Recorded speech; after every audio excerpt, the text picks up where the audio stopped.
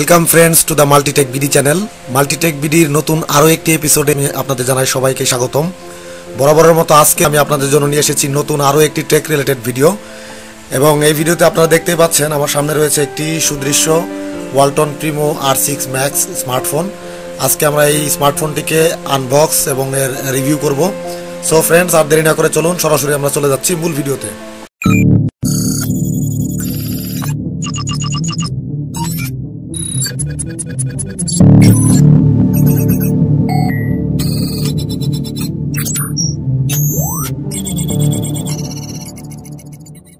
Welcome back friends তো চলুন আর কথা না বাড়িয়ে সরাসরি আমরা আনবক্সিংয়ে চলে যাচ্ছি।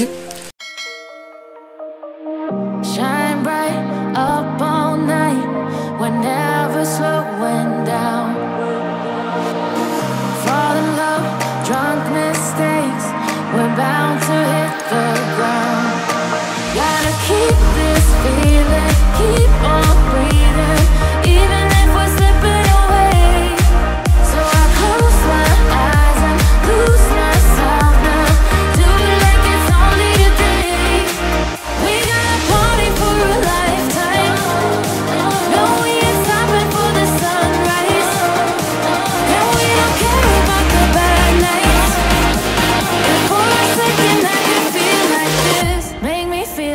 দেখতে পাচ্ছেন এখানে আমার হাতে রয়েছে Walton Primo R six Max এই স্মার্টফোন এটি একটি এন্ট্রি লেভেলের স্মার্টফোন আমরা এটা এখন আনবক্স করে দেখব যে এর ভিতরে আসলে বক্স কন্টেন্ট কি রয়েছে বা ফোনটি কেমন। সেই বিষয়ে বিস্তারিত দেখব। দেখুন, এখানে উপরে ওয়ালটনের ব্র্যান্ডিং রয়েছে এছাড়া পিছনে রয়েছে সমস্ত স্পেসিফিকেশন এবং এখানে দেশীয় ব্র্যান্ড তার সমস্ত হলোগ্রাম স্টিকার এবং বারকোড সব কিছু এখানে রয়েছে। এটি ফুললি একটি অফিসিয়াল ফোন তো প্রথমেই দেখা যাচ্ছে ফোনটিকে স্লাইড করলেই ভিতর থেকে বেরিয়ে আসছে আরও একটি বক্স। আমরা এই বক্সটা এক সাইডে রেখে দিচ্ছি। এবং এটার উপরের অংশটা খুললে দেখতে পাচ্ছি এখানে রয়েছে ফোনটি। তো ফোনটিকে আমরা এক পাশে রেখে দিচ্ছি। এই ভিতরে বক্স কন্টেনার কি রয়েছে আমরা এই বক্সটিকে এক পাশে সরিয়ে রাখছি। বক্স কন্টেন হিসেবে আমরা এই ফ্ল্যাপটিকে খুললে দেখতে পাচ্ছি এখানে রয়েছে একটি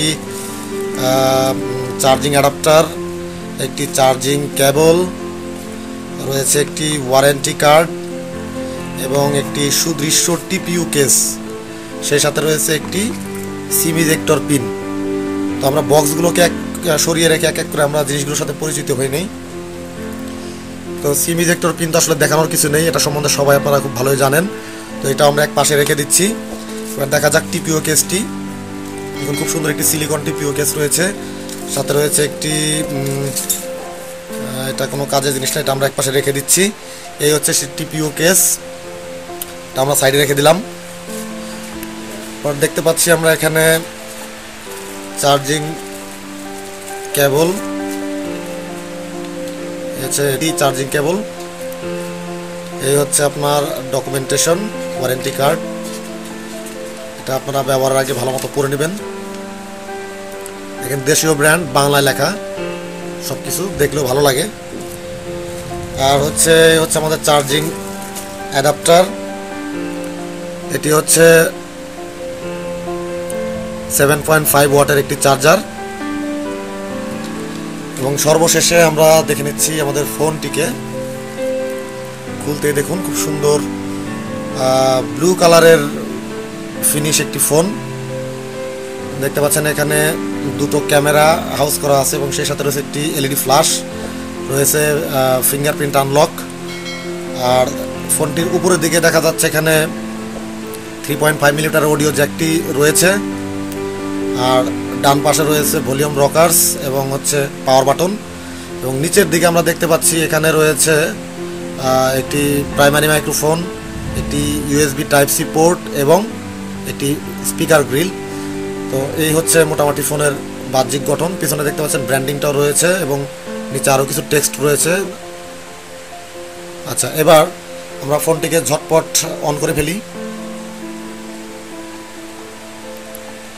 দেখতে পাচ্ছেন ফোনের ওয়েলকাম স্ক্রিনে লেখা রয়েছে প্রিমো আর সিক্স ম্যাক্স এবং নিচে রয়েছে powered by Android six inch plus একটি ডিসপ্লে যেটি একটি আইপিএস প্যানেল এবং ডেফিনেটলি এইচডি প্লাস রেজুলেশনের এবং ফোনের চিপসেট হিসেবে থাকছে কর্টেক্স এ ফিফটি থ্রি বেজের একটি অক্টাকর সিপিইউ এবং এই হচ্ছে ফোনের স্টার্ট আপ ইন্টারফেস দেখতে পাচ্ছেন বেশ ক্লিন এবং মিনিমাল একটি ইন্টারফেস তো ফোনের সেটিংস আমরা একটু গিয়ে দেখি।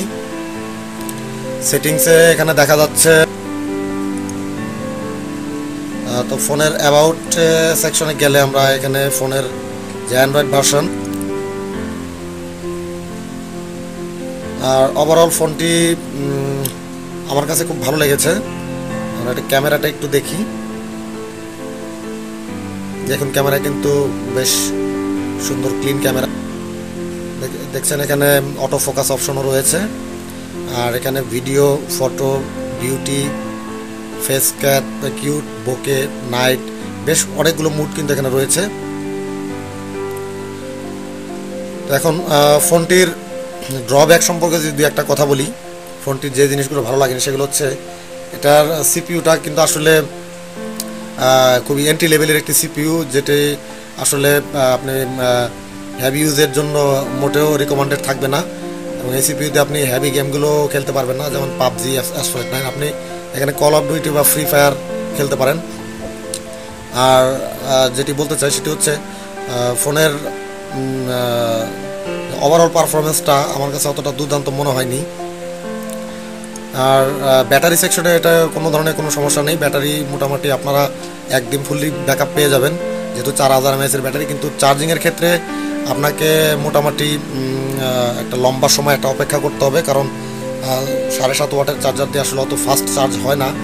তো, আর অন্যান্য যে জিনিসগুলো আমি এখানে দেখেছি যে ফেস আনলকটা খুব দ্রুত কাজ করে। আর ফিঙ্গারপ্রিন্ট সেন্সরটাও খুব ফাস্ট কাজ করে।